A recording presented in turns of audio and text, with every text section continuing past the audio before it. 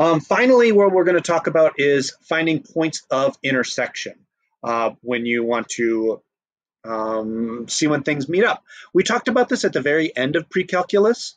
Um, substitution works all the time, but can cause extraneous. Elimination method only works if you have matching degrees. So you can always substitute, but be on the lookout for extraneous, especially when the degrees don't match.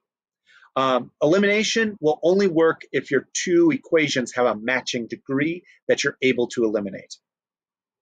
Um, so we want to find the points of intersection and use a graphing utility to verify and make sure that we've got the right thing. And we'll, we'll even do that first. Sometimes it's nice to know what our answer is so we can kind of have that reassurance.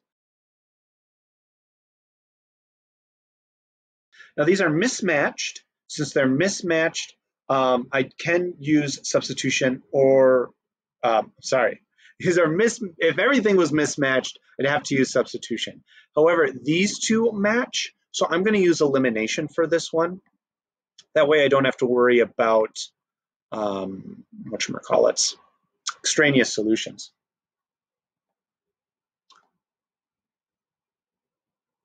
So I am able to eliminate that y, so I'm going to uh, use elimination. So I'm going to subtract these two equations. Uh, 15 minus 11, that's 4. The y's cancel out, and we get x squared plus 3x. And now that's a quadratic that I can set equal to 0. squared plus 3x minus 4 equals 0. Do a quick factor. X plus 4 and x minus 1. Ooh, those are those numbers that we were getting before. So x equals negative 4 and x equals 1. Now we want to plug these into the lower degree equation, if I'm not mistaken. Dope, dope. Um, so you can plug into either one plug into either one. If you're doing substitution, you need to plug it into the lower degree equation. So I'm going to do the easier one, so I'm going to do the bottom one. Uh, so I'll plug in that x, so negative 3 plus y equals 11, so that's negative 4. So that's 12 plus y equals 11, subtract 12, so y equals negative 1. So our first answer, negative 4, negative 1. Hey, cool, that's what we got on Desmos. And the other one, we got negative 3, negative 1, plus y equals 11. So that's positive 4, uh, no, positive 3. Um, and then we got to add it to both sides. Oh, wait, no, that's not negative 1, it's positive 1. That's an equal sign. So negative 3 added to both sides, y equals 14. And that got us our other answer from Desmos, 114. All done. And I think that is about it for today. No, I think I'm going to do this one as well, because then we can see a substitution problem. So this one is ripe for substitution. Yes, you could kind of eliminate, but then there's these, so um, we're going to use substitution for this one. Since they both are equal to y, um, we can just replace this y with all this garbage and then solve that. So we get the square root of negative x squared minus 4x equals whoop, the square root of x plus six. Now you might be intimidated of all those square roots, but hey, you know, to get rid of a square root, you just square both sides. So we get negative x squared, and that just gets rid of those square roots. Oh, how nice. Uh, now we've got a quadratic, so let's get it equal to zero. So zero equals x squared. Got to add a four, so 5x plus, plus uh, 6. Do a quick factor.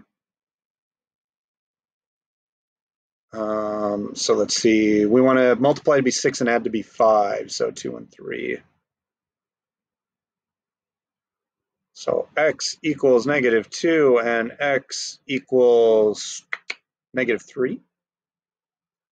Okay, so we want to plug this into the lower degree equation. So that's going to be this one. This one's got like squareds and stuff in it. So let's plug it into that one. So y equals the square root plus 6. So if we do negative 2, we get y is the square root of 4. I don't know why I'm writing all this. So y equals 2. So our first answer should be at negative 2 and 2.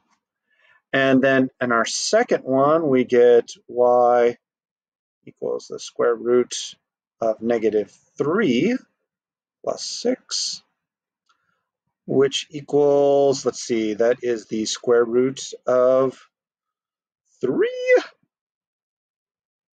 So we get our solution at what?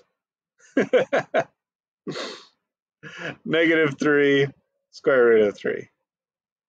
Okay, now remember this one has extraneous solutions pop possibly, so we have to check those out. We're actually going to use Desmos to verify that, and we will take a look at our graph.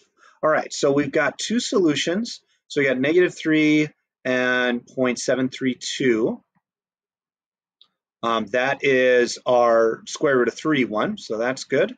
And then the other one should be at negative 2 and 2 and that checks out. Negative three. My gosh, I am so sorry. There we go, and then we get our decimal answer again. Um, yeah, cool. So I think that's about it for today. Thanks, everybody. It's not it for today. Anything else is going to be online. But here's our TLDR again. Uh, please remember these symmetry things. Uh, if you replace x with negative x and you get the same thing, it is an even function reflecting over the y-axis.